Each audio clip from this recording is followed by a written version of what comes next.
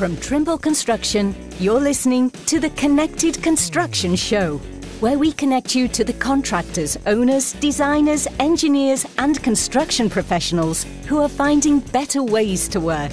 And now, here's your host, Matt Sprague. All right, so now we're going to uh, pivot from our conversation last week, which was the data availability topic uh, around operations and maintenance. And now we're going to kind of, uh, as I mentioned, I think last week we are going to double click. Uh, now we'll, we'll maybe just move over into the same idea, but now with our head wrapped around the planning and design phase. So, um, opening it back up to to everybody. So we, uh, uh, Joe, Aaron, Zach, and Rick. Uh, you know, so in your views, um, what data is critical at the planning stage to properly scope a project um, or, or, you know re- whether it's you know replacing something or whether it's it's just updating an, an existing. So you know like what what uh, or, or where is the data uh, most effectively obtained?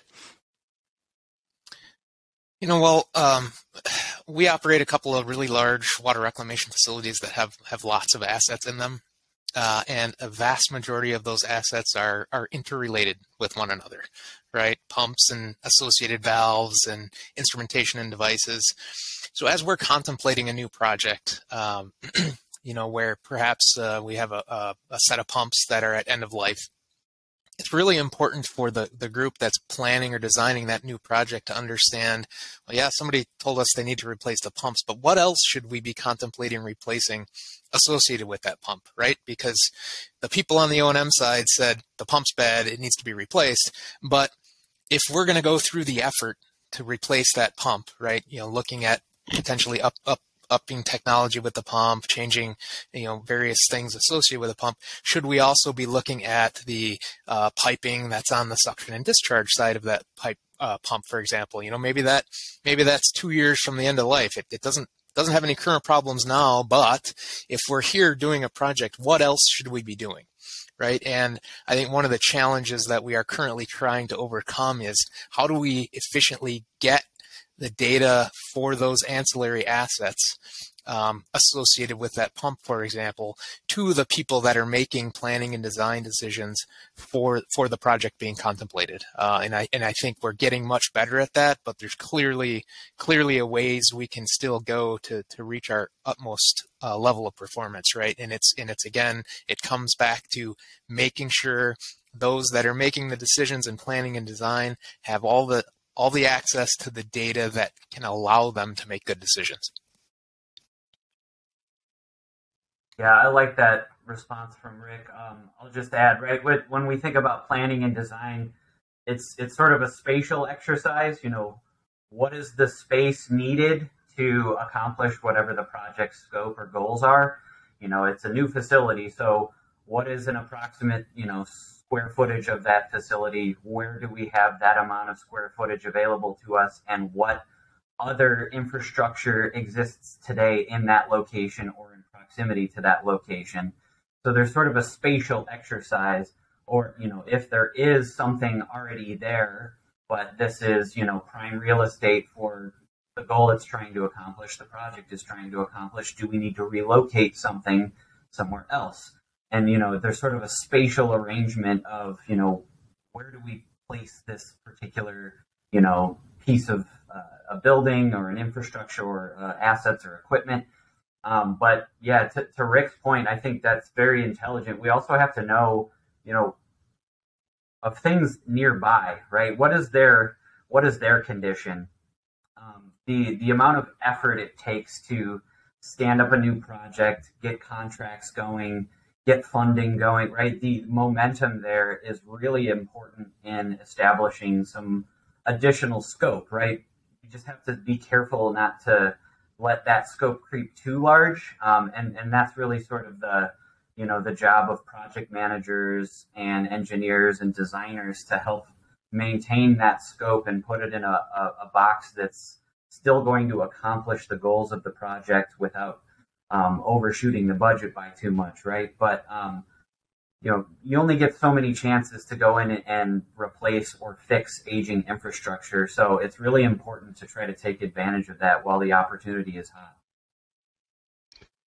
Yeah, and this is something that will I know Zach and, and Joe will will appreciate, um, and, and, I'm sure Rick will as well. But you know, it, it's really about having you know good quality existing condition base maps in place that um, designers, planners can can use in in their efforts and, and work that we we know if for example if we need to tap in for for power for for a new building um, or sanitary sewer that um, it's not going to disrupt or cause conflict with with existing systems up or downstream that that's tying into. Um, and you know, in many cases, we can leverage you know modeling software within GIS to, to perform those models and, and, and, analytics to, to kind of get a rough order of magnitude. Um, but you know, we we really want to make sure that the information is there and available for, for them to, to make those decisions because ultimately when we start looking at maybe something that's more along the lines of a, of a design build we want to really reduce the amount of, of risk and unknown to, to, to the builder um, so that we get a more credible, accurate bid that's coming in.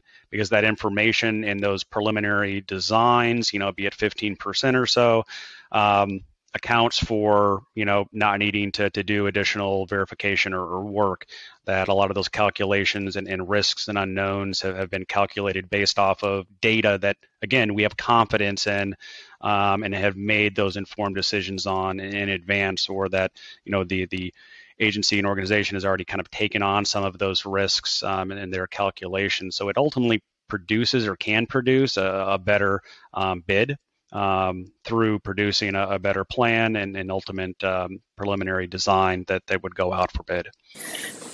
Yeah, you know what you guys said there is really kind of interesting. I think Aaron and I kind of took at it two, two slightly different approaches, but ultimately, at least from my perspective, and I suspect uh, others here on the on the podcast would agree with it, the vast majority of challenge we challenges we have coming out of planning and design and going into construction, which we'll talk about a little bit later, is um, we didn't have good data available for planning and design, and that now has resulted in challenges as we move to that next step. So, right, the you know the low hanging fruit is get better information in planning and design from what you already have. That will make that will make the future better. Uh, absolutely, I think you know the the striking while the iron's hot. Planning the the challenge of planning really is making you know a lot of very big difficult decisions in a very short amount of time, you know, based on the best available data. And I think this is where you know, if technology has changed and made this thing, you know, made made this delivery process, I think it has stands to aid the planning and initial design process, you know, best. Um, and I, I, think you know, there's an anecdote that comes to mind, right, where there there's been some uh, certain area at the uh, at the airport.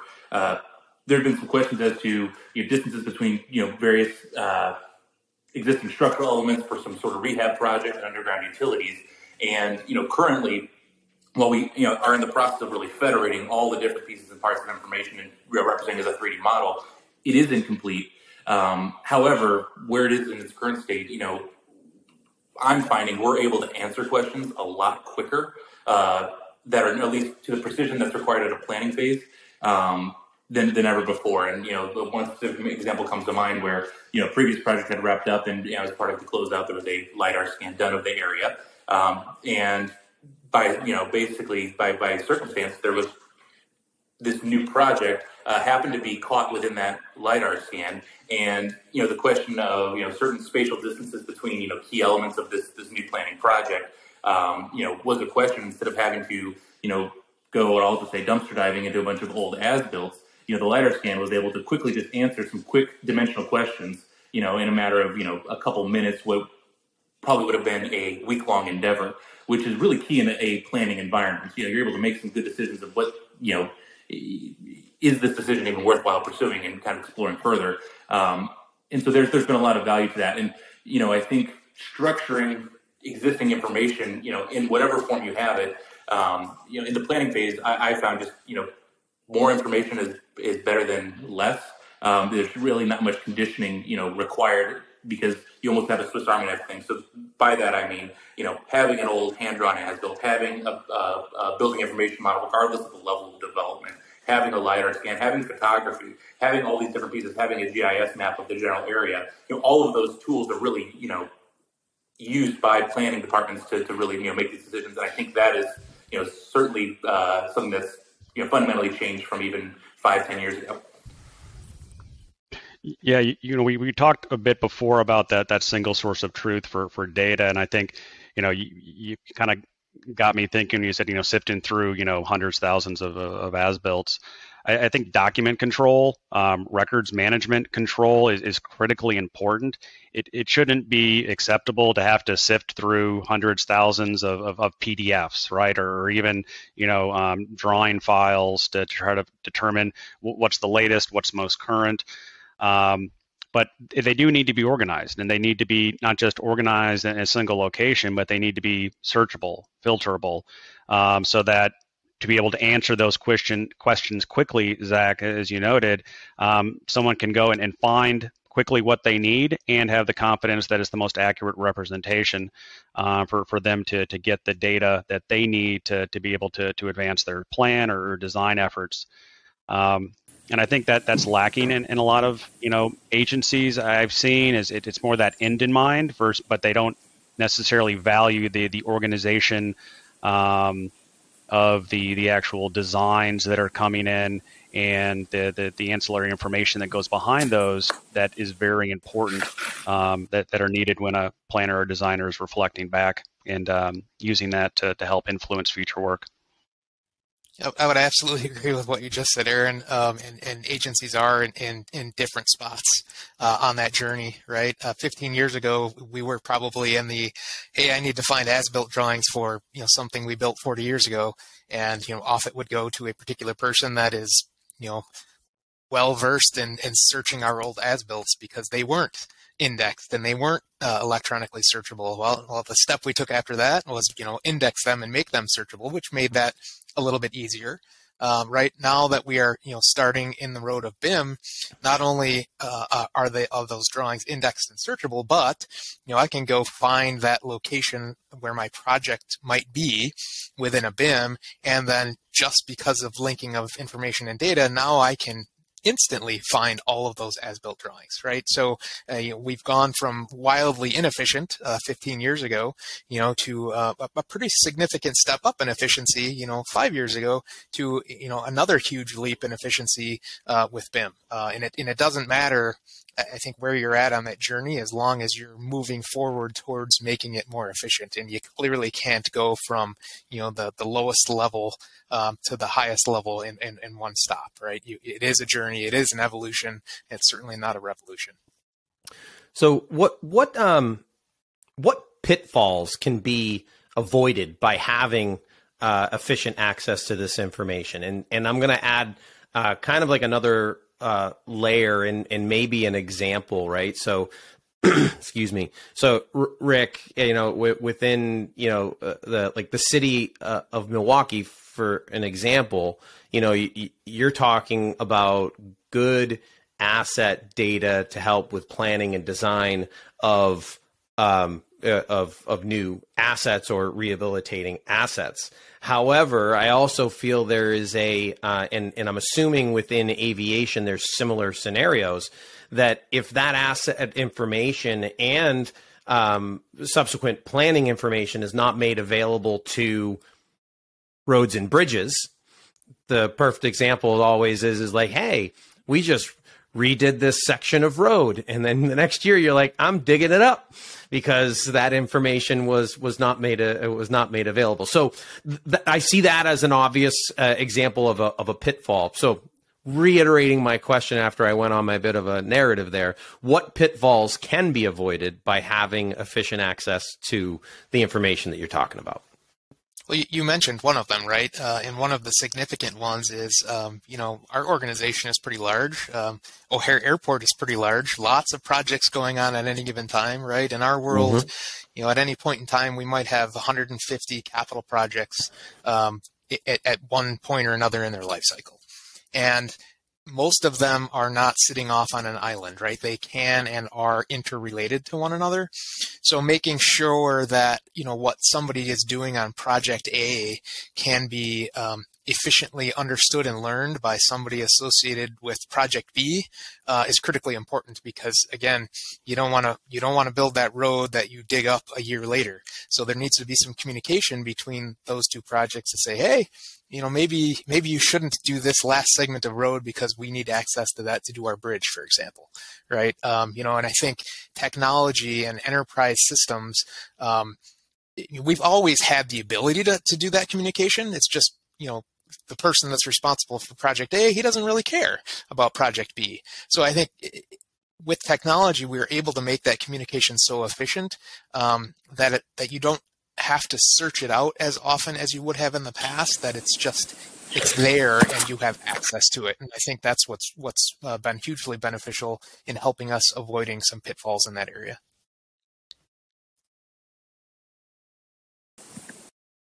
I guess, Rick, I have a question for you. Do you find that the questions are changing, um, you know, for folks that need information, perhaps you know, from from planners and, and whatnot? You know, I think one observation that I've made is, you know, I've, I've heard the question changing from, you know, I, I need an as built.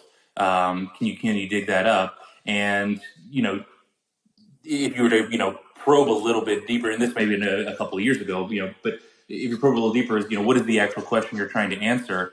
Um, and then realizing, well, you know, the as-built will certainly answer that information, but there's, you know, all these other tools or other ways you can kind of look at this. There's a map, there's a there's a, a BIM model, there's something else that'll actually answer the question not only better but but certainly quicker. Are you finding that the the, the questions are changing, or do you see a change in the staff, the folks that aren't in the day to day of dealing with the data?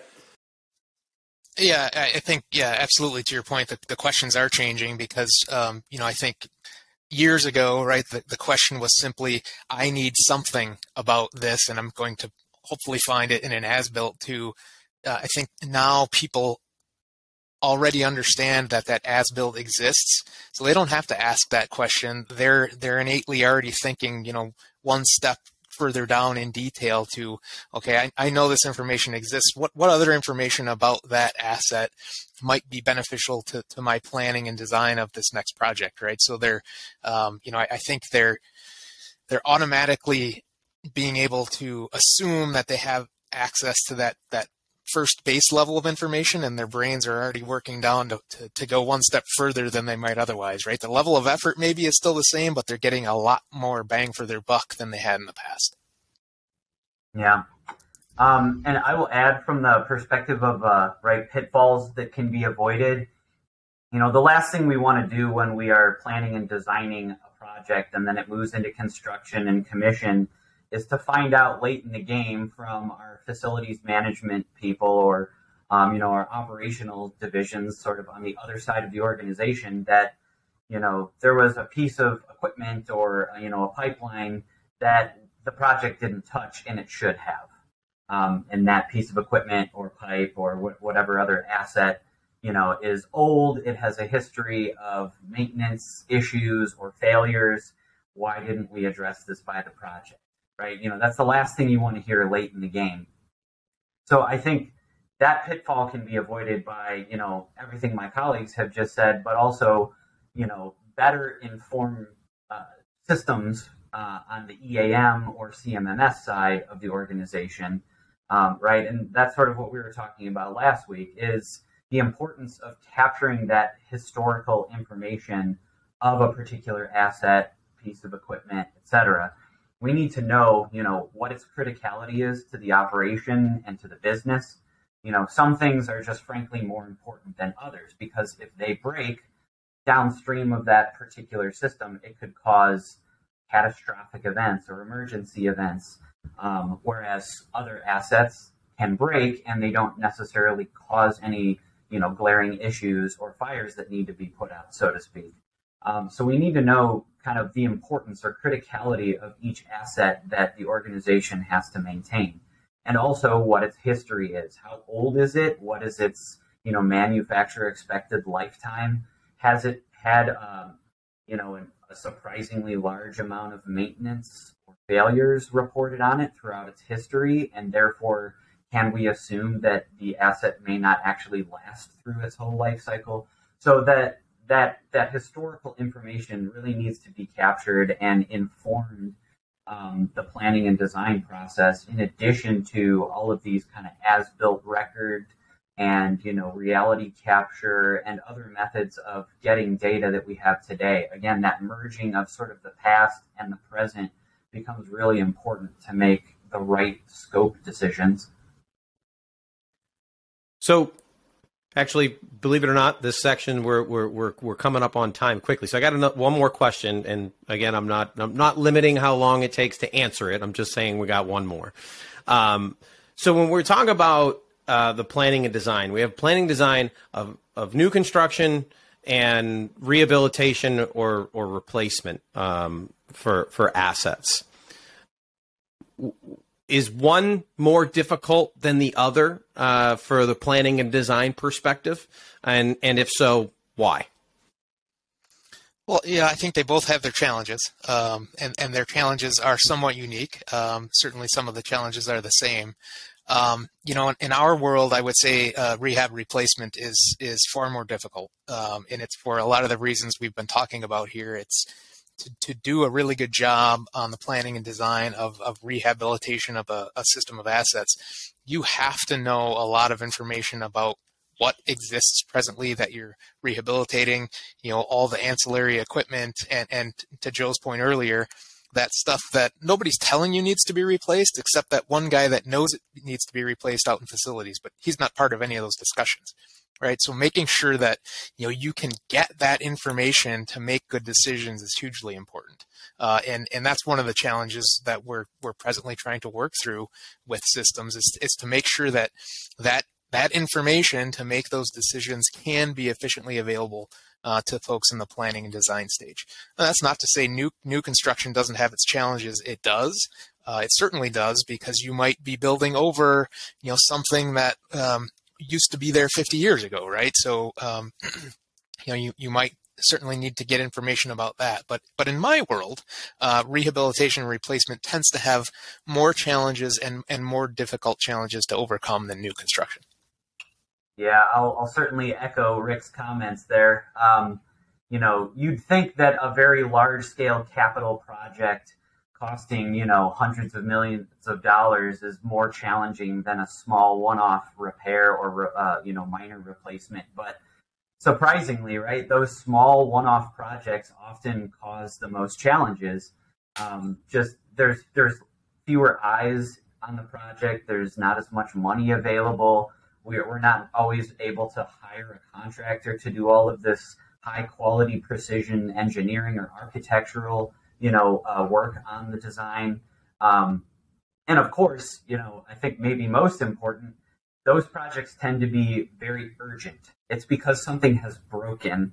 And so the, the level of urgency is raised. And so the, the effort really isn't there to try to capture, to, to one, plan it out in, you know, with time on your side, and then to capture information in the field and after the fact those types of things tend to be lost in an emergency situation or a project that has a really high sense of urgency.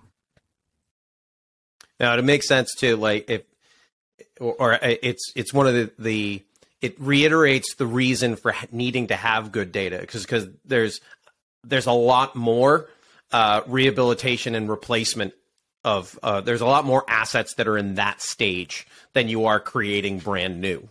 Uh, and if you if you don't have good data, and that's going to be not only harder and more frequent, then it obviously compounds in terms of the difficulty and the challenges that that are there.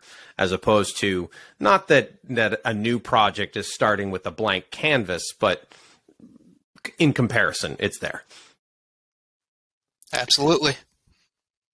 Yeah, one of one of the points is to kind of take a, a, bit of a step back to the previous question, but I, I, think it answers some of this current one as well. Is you know we're talking a lot about the importance of, of kind of sharing and evaluating information w- within an organization, perhaps you know two different projects that may be going on for different reasons, making sure that you know both sides are communicating and they understand the the impacts that that may result to, to either project but also something that we're, we're seeing a lot lately is um, interagency coordination. So maybe a, a rail and a DOT coordinating on projects taking place in similar areas.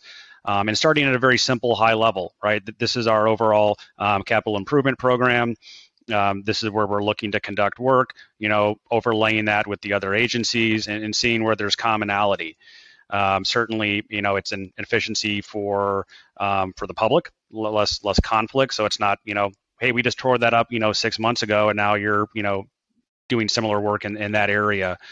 Um, but it, it, can also produce cost savings, right? So if we're talking about needing to to to get, you know, raw materials. Um, per, perhaps we can, you know, cost share and, and, leverage certain grants, or it makes us in our grant applications um, more favorable because we're, we're showing that that pre-planning up front um, and, and tackling something perhaps in one sitting more cost effectively, more safely um, than, than, than doing that work uh, in conflict. So we've seen a, a big uptick in that. Um, state agencies working together to kind of overlay that that simple information. Um, so that be it new construction, um, you know, they're they're aware of perhaps other synergies. You know, hey, we couldn't tackle this on our own, but if we could go underneath your project, maybe we can do them both together.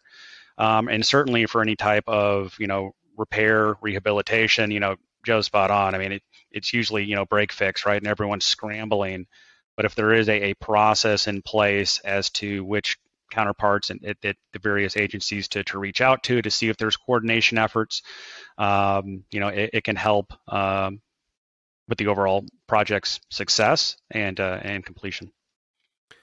All right, so we have uh, we've checked two boxes, right? We've we've had this conversation about data and availability from the operations and maintenance, and now the planning and design. Uh, we're going to move on next week to the construction or the build phase of of this conversation. So, um, thank you again, uh, Joe, Aaron, Zach, and Rick uh, for joining us, uh, and we're looking forward to next week as well. Everybody who's listening, watching, uh, thank you very much for for tuning in again. Uh, and until next week, stay connected. Thank you for joining us for this episode of the Connected Construction Show. For more information, visit us at connectedconstructionshow.com.